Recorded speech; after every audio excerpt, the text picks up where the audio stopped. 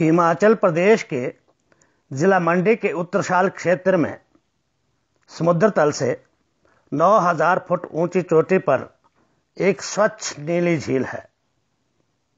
झील के एक किनारे पर स्थित है ऋषि पराशर का तिमंजिला पैगोडा शैली में बना पुरातन मंदिर। ऋषि पराशर, कौन थे? हिमालय ध्रोर की इस कड़ी में हम आपको बताएँगे कि ऋषि पराशर यहाँ कब आए और उन्होंने झील का निर्माण कैसे किया? ये भी बताएँगे कि उनका मंदिर यहाँ किसने बनाया। ऋषि पराशर के बारे में वेदों में उल्लेख मिलता है कि ये शक्ति ऋषि के पुत्र हैं। महाभारत के रचयिता वेद व्यास के पिता और सुखदेव मुनि के दादा हैं। इनके दादा ब्रह्मा जी के मानस पुत्र विशिष्ट ऋषि हैं।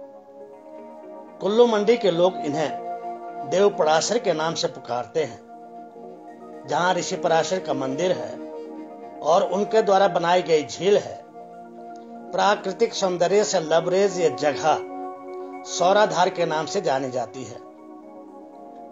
वैसे तो यहाँ पहुँचने के लिए कई रास्ते हैं, लेकिन प्रमुख मार्ग मंडी से 14 किलोमीटर दूर है, जो कटौला बागी होकर है। दूसरा मार्ग कुल्लू से नाव पनाव ज्वालापुर होकर लगभग 45 किलोमीटर है। इन दोनों रास्तों से वाहन से यहाँ पहुँच सकते हैं। झील और मंदिर के चारों ओर लगभग दो किलोमीटर घेरे में पर्वत ऐसा घेरा धारण किए हुए है, जैसे कोई दीवार बांधी गई हो। इसी पर्वत रूपी दीवार के मध्य कटोरी नुमा नीचे एक समतल स्थान पर, झील और झील के तट पर पराशर ऋषि का मंदिर है। झील के बीच लगभग 200 मीटर घेरे का तैरता भूखंड एक सुंदर दृश्य प्रस्तुत करता है। ये भूखंड कभी मंदिर के दक्षिण हिस्से में होता है और कभी उत्तरी भाग में। इस झील का मुख्य आकर्षण भी यही भूखंड है। इसके घूमने का रहस्य अब तक कोई नहीं जान पाया। यहाँ झील कैसे बनी? इसके बारे में लोक श्रुति है कि एक बार ऋषि पराशर हिमालय में घूमते हुए इस स्थान पर आए। उन्हें यह स्थान पसंद आया। अतः वे यहीं रहने लगे। लेकिन यहाँ पर पानी नहीं था। तब ऋषि ने इसी स्थान पर भूमि पर लोहे की छड़ जिसे गुर्ज कहते हैं, मारा। उससे जल निकला, जिससे ये झील बन गई।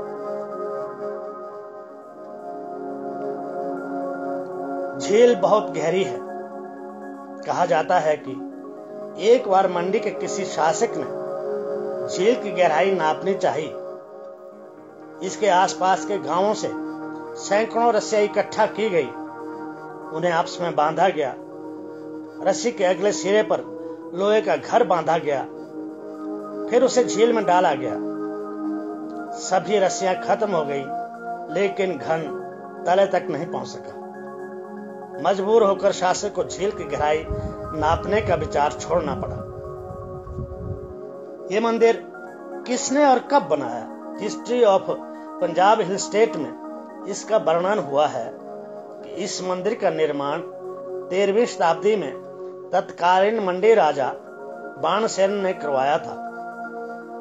कहा जाता है कि मंडी के राजा बाणसेन ने जब केलटी और सागुर के राणा को हराकर उत्तरशाल के क्षेत्र पर अपना राज स्थापित किया तो उसने उसी खुशी में ऋषि प्राशर का मंदिर बनवाया था। मंदिर देवदार के एक ही पेड़ से बनाया गया है। इसे बनाने में 12 वर्ष का समय लगा है। इसी तरह का पैगोडा शैली का मंदिर कुल्लू जिला के कमांड गाँव के संधान वन में भी है। यहाँ इसे तपी प्राशर कहते हैं, जबकि सौराधार में इसे प्रत्यक्ष प्राशर कहते हैं। यहाँ पर आषाढ़ मास के संक्रांति को सौरा नावली मेला मनाया जाता है, जिसमें आसपास के गाँवों के देवता भाग लेते हैं। भादो मास के शुक्ल पक्ष की ऋषि पंचमी को ऋषि के जन्मदिन के रूप में पांजो उत्सव भी धूमधाम से मनाया जाता है। बैसाख में काशी मेला भी मनाया जाता है। इन सब मेलों में सबसे अधिक लोग सौर नाहौली में आते हैं। प्रकृति की सुंदरता के साथ साथ ये स्थान अध्यात्म का भी पुण्य स्थल है। अगले कड़ी में किसी और विषय को लेकर उपस्थित होंगे, तब तक देखते रहिए हिमालय ध्रुव चैनल। इसे सब्सक्राइब, लाइक और शेयर अवश्य करें।